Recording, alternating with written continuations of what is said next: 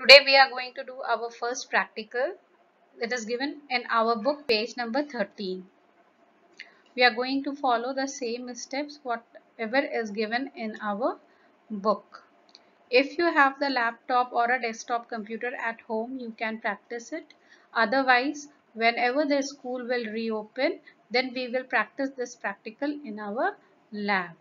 So please do not disturb anybody at home for a computer. Start word we have to click on the start button. Click word click on the blank document. This is your blank document.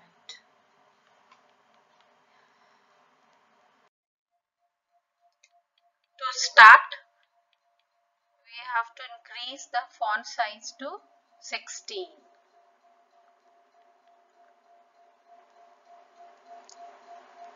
we have to press the caps lock key to type in capital. RAM. Then you have to get press at least 4 to 5 times the tab key. Then you will type ROM. Press enter key for 2 times. Then change the font size to 14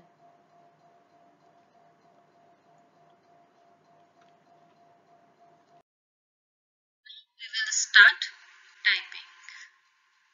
The first is it is a temporary memory. RAM is a temporary memory. Press the tab key two times now. So that you can write underneath ROM. It is a permanent memory.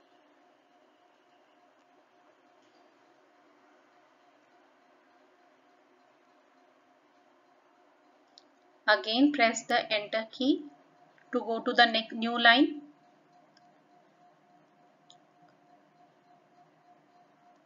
For the second difference, we will just type the full form. You know RAM is random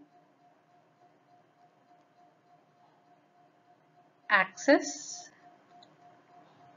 memory. Press the tab for two times then read only memory. So this is how we are going to type our two differences between RAM and ROM. Children, now we will save our file. We can save our file by pressing CTRL plus S key or we can click on the file then save or save as. Now this is your player section where you can type your file name and you can choose the location. In your computer, if the C drive is always there, then you can check wherever you want to save your file in any of the drives these are called the drives so right now we are selecting e drive and we will type the name of the file over here so it is already written ram rom we are saving it with ram rom name. Again check the location. It is e drive. Then press the save button. Press the close button. And finished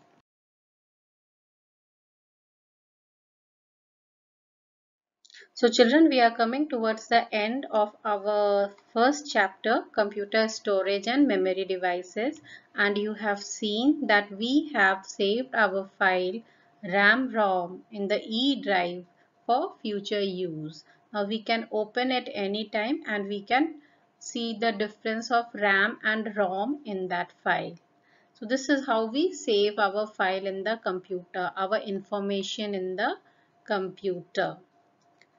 Okay children. So only two short notes were left that you can write in your notebook where you were uh, writing the other part of the like you were writing question answers and fill in the blanks and multiple choice. Now in continuation you can write the short notes.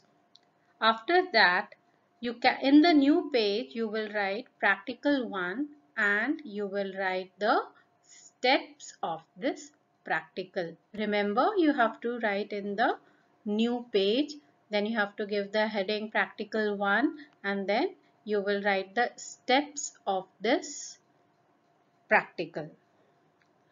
Okay children, so we will meet in the next video.